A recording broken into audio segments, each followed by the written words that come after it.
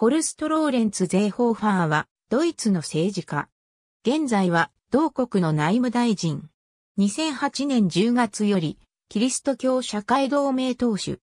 その他1992年から1998年まで、ヘルムート・コール内閣で保健省を2005年から2008年まで、アンゲラ・メルケル内閣で農業、消費者保護省を2008年より2018年までバイエルン州首相を務めた。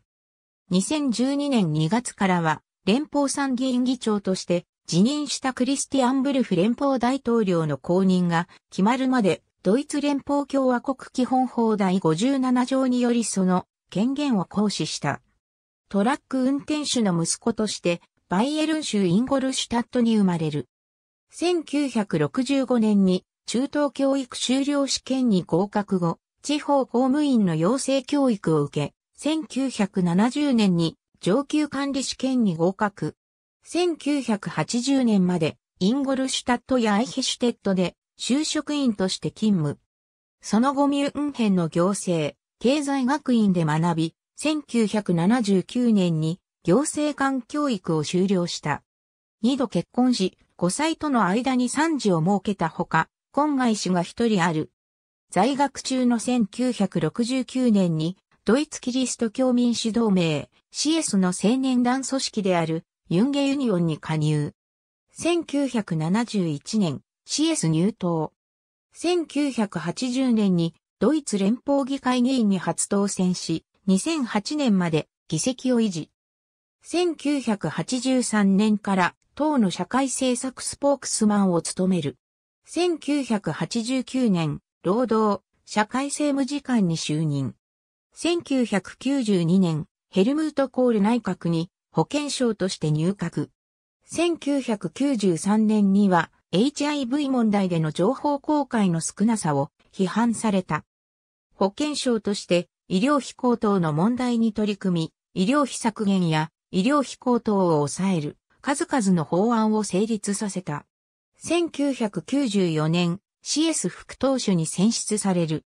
1998年の総選挙でコール内閣が退陣すると、連邦議会、セディ、CS 議員団のヨーロッパ政策、農業、環境政策担当副団長に就任。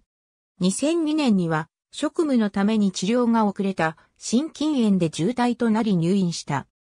CS 経営の非雇用者協会の会長を務め、敬虔なカトリックの社会主義者とも呼ばれるゼーホーファーは、セディ、CS で最も社会政策通として知られているが、2004年11月に自党の医療保険制度政策を厳しく批判して、党内から社会民主主義的だとの批判を受け、議員団副団長を辞任した。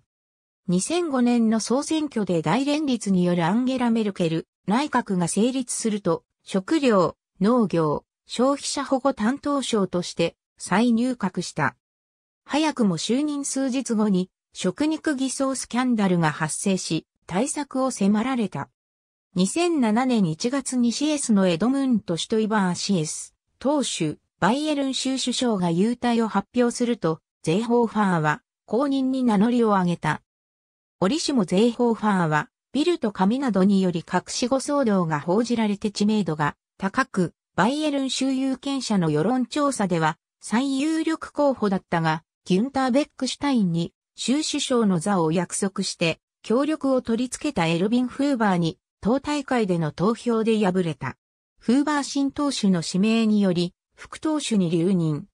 2008年9月のバイエルン州議会選挙でシエスは単独過半数を割り込む大敗を喫し、フーバー党首とベックシュタイン州首相が共に辞意を表明した。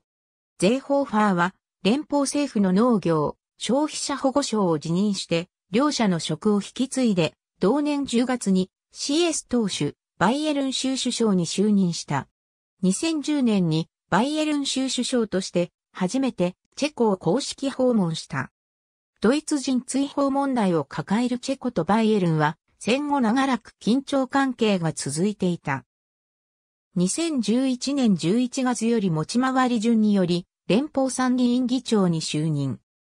議長在任中の2012年2月、クリスティアン・ブルフが連邦大統領を辞任したため、連邦参議院議長であったゼーホーファーが、ドイツ連邦共和国基本法第57条により、連邦大統領が空位の期間、その権限を行使した。